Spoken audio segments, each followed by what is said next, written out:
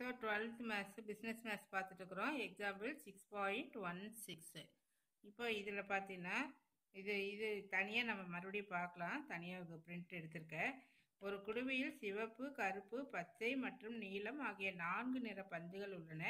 எந்த நிற பந்தையும் பெற சமமான நிகழ்த்தவு ஒவ்வொரு கலருக்குமே ஈக்குவலான நிகழ்த்தவு வழங்கப்பட்டுள்ளது. மொத்த சோதனைகள் எவ்வளவு? முப்பது சோதனைகள். முப்பது சோதனைகளில் பந்துகள் திருப்பி வைக்கும் முறையில். ஒரு பந்து எடுத்துட்டா அதை நம்ம திருப்பி வச்சிடுறோம். அப்படி இருக்கிறப்போ நீல நிற பந்து நீல நிற பந்தை பெறுவதற்கான எதிர்பார்க்கத்தக்க மதிப்பு. எதிர்பார்க்கத்தக்க மதிப்புனா நம்ம என்ன கண்டுபிடிக்கணும்? E இ வந்து நம்ம கண்டுபிடிக்கணும்.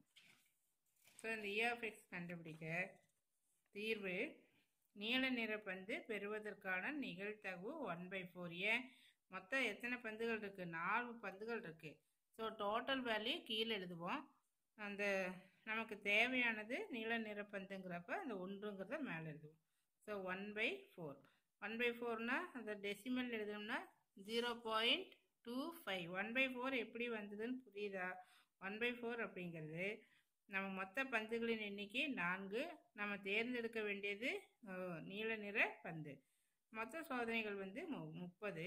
அப்போ சோதனைகளின் மதிப்பு அப்படின்னா சோதனைகளின் எண்ணிக்கை இன்ட்டு நிகழ்தகவு. இது ஒரு ஃபார்முலா மாதிரி ஞாபகத்தில் வச்சுக்க. So N into P multiply பண்ண seven point five zero so இதுதான் எழுது. நீல நிற பந்தை பெறுவதற்கான எதிர்பார்க்கத்தக்க மதிப்பு. ஸோ இதில் வந்து டேப்லர் காலமெல்லாம் எதுவுமே இல்லை. ஜஸ்ட்டு ஒரு எக்ஸ்பிரிமெண்ட்டு அதுக்கு இந்த ஃபார்முலா வச்சுட்டு நம்ம இதை செய்கிறோம் அடுத்து பார்த்திங்கன்னா சிக்ஸ் பாயிண்ட் ஒன் செவனில் ஒரு நடுநிலையான பகடை உருட்டப்படுகிறது எனில் அதன் விளைவுகளில் எதிர்பார்க்கப்பட்ட எல்லாமே நம்ம எக்ஸ்பெக்டட் வேல்யூ தான் கண்டுபிடிக்கிறோம். சில சமயம் டேப்லர் கார்டும் கொடுத்துருக்கோம். சில சமயம் இந்த மாதிரி அந்த எக்ஸ்பிரிமெண்ட் வந்து இருக்குது இந்த கொஸ்டினில் பகடை வந்து உருட்டப்படுகிறது. அப்போ ஒரு இங்கே வந்து ஒரு பகடை தான் ரெண்டெல்லாம் இல்லை. ரெண்டாக இருந்தால் one one one two one three அந்த மாதிரி எழுதுவோம். ஒரு பகடைங்கிறப்போ நமக்கு வந்து one two three four five and six X value எழுதிக்கலாம். இதனுடைய ஒவ்வொரு probability value one by six தான் வரும். ஏன்னா நம்பர் ஒன்று பை டோட்டல் அவுட்கம் எவ்வளவு? சிக்ஸு டூங்கிறது எத்தனை முறை? ஒன் பை சிக்ஸ் த்ரீங்கிறது ஒன் பை சிக்ஸ் அந்த மாதிரி ஒவ்வொன்றுக்குமே ப்ராபபிலிட்டி அதனுடைய நிகழ்தகவு ஒன் பை சிக்ஸ் அப்படின்னு சொல்லி தான் இருக்கும். ஸோ இந்த இதில் ஒன் பை சிக்ஸை காமனாக எடுத்துக்க. இந்த ஃபார்முலாவில் சப்ஸ்டியூட் பண்ணி தான் அதை நம்ம கண்டுபிடிச்சிருக்கிறோம் எப்பொழுதுமே எதிர்பார்க்கப்பட்ட மதிப்பு எக்ஸ்பெக்டட் வேல்யூ அப்படின்னாவே இந்த ஃபார்முலாவில் சப்ஸ்டியூட் பண்ணி ஆன்சர் வந்து த்ரீ பாயிண்ட் ஃபைவ் அப்படின்னு சொல்லி இருக்கு. இந்த சமம் ஒன்று பார்த்துடலாம் தான் போன சம்மில் சொன்னது தான் example six point one six இதில் வந்து ஏன் ஆர்ன் கண்டெய்ன்ஸ் ஃபோர் பா பால்ஸ் அந்த ஒவ்வொன்றும் என்ன கலரில் இருக்குது அந்த ஆர்னில் ஒரு black red black then green then blue colour ball so there is equal probability ஒவ்வொன்றுக்குமே one by four one by four one by four one by ஃபோர்னு சொல்லி சொல்கிறோம் நம்ம எடுக்கக்கூடியது what is the expected value of getting a blue ball blue பாலுக்கு உண்டான expected value நம்ம கண்டுபிடிக்கணும். மொத்தம் experiment எவ்வளோ எக்ஸ்பெரிமெண்ட் கொடுத்துருக்கு? தேர்ட்டி எக்ஸ்பெரிமெண்ட் வந்து இருக்குது வித் ரீப்ளேஸ்மெண்ட் ஒரு பால் எடுத்தால் திரும்ப அதை நம்ம மறுபடியும் வச்சிடறோம்.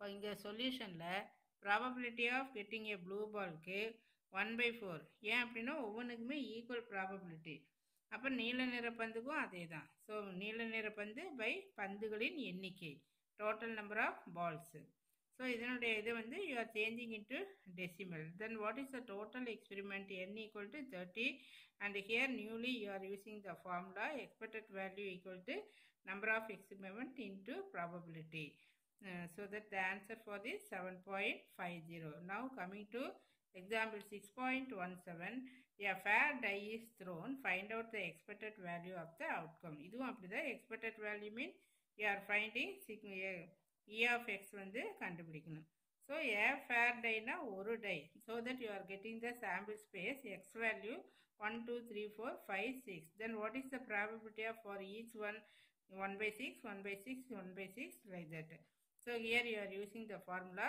E of x equal to x p of x.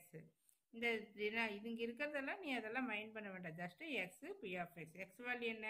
One two three four five six and probability வந்து ஈக்குவல் ப்ராபபிலிட்டி ஸோ இந்த one by six now we take one by six common so the answer for this three point five then next one six point one eight six point one எயிட்டில் தனித்த சமவாய்ப்பு மாறியின் நிகழ்தகவு நிறை சார்பாக வந்து கொடுக்கப்பட்டுள்ளது. அதாவது ப்ராபபிலிட்டி மாஸ் ஃபங்க்ஷன் இதில் நல்லா நோட் பண்ணி பார்த்தீங்கன்னா இங்கே பி ஆஃப் எக்ஸ்னு இருக்கும். மேலே வந்து எக்ஸ் அப்படின்னு சொல்லி இருக்கும்.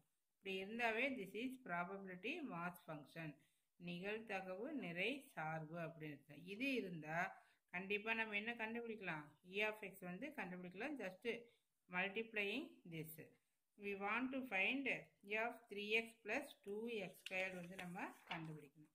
So first E of X ஃபார்மில் என்ன? X into P of X you write all the X value இந்த ப்ரீவியஸ் டேபிள் இருக்கிற X value zero one two three then P of X கரஸ்பாண்டிங்காக எழுதிட்டு இதனுடைய ஆன்சர் வந்து ஒன் பாயிண்ட் எயிட்டு இது வேணால் work out பண்ணி பார்த்தீங்கன்னா இங்கே ஜீரோ ஆயிரும். இந்த இடத்துல இங்கே என்ன வரும்?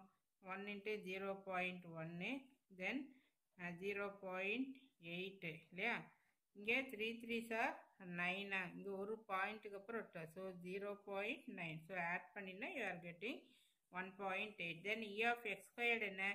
X squared into p of x so இதெல்லாம் எக்ஸ் வேல்யூ எல்லாம் squared you all the x value squared பண்ணிக்க.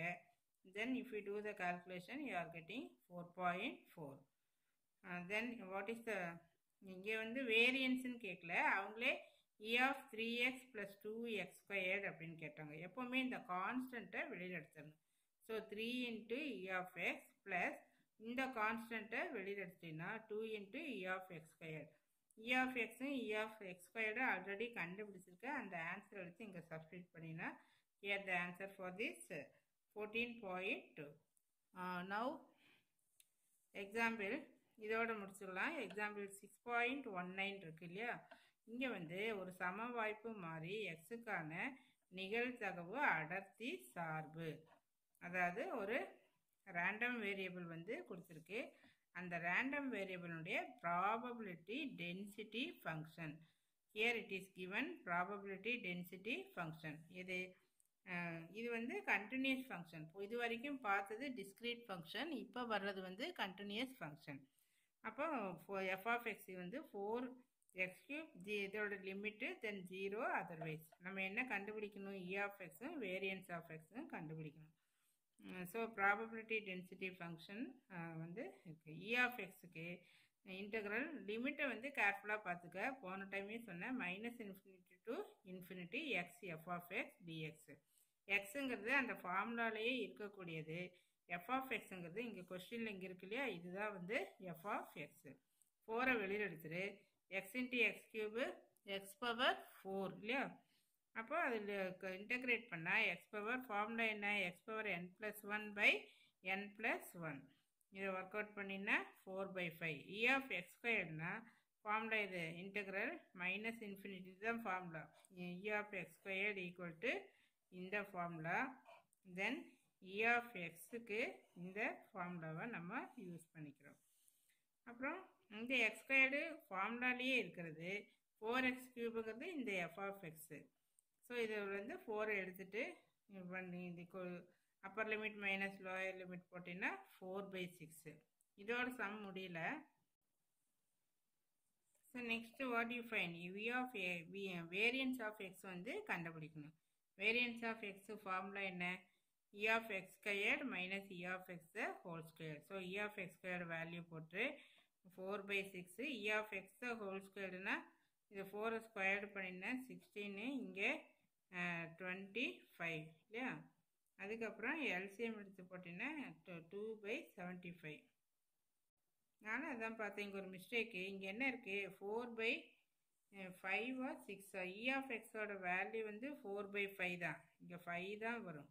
ஏன் அப்படின்னா இங்கே பாரு இங்கே இ e ஆஃப் எக்ஸோட வேல்யூ என்ன இருக்குது ஃபோர் பை ஃபைவ் அப்போ தான் நம்ம எல்சியமும் எடுக்க முடியும். இங்கே வந்து ஃபைவ் அப்போ இங்கே என்ன பண்ணிக்க? Into five into five so twenty minus sixteen இங்கே என்ன இருக்குது டுவெண்ட்டி ஃபைவு இங்கே ஃபைவு ஆன்சர் வரல. செக் பண்ணிக்கலாம். அந்த இங்கே இது கரெக்டு தான். பை சிக்ஸ் தான் வரும். அதனால் இதை நான் ஜஸ்ட்டு ஸ்ட்ரைக் அவுட் பண்ணிடுறேன். அப்போ இதுக்கு நமக்கு எல்சிஎம் என்ன வரும்? ஒன் ஃபிஃப்டி வருமா? ஜஸ்ட் இதை அப்படியே மல்டிப்ளை பண்ணிக்கிறோம் அப்போ இங்கே ஒன் ஃபிஃப்டி அப்படிங்கிறப்போ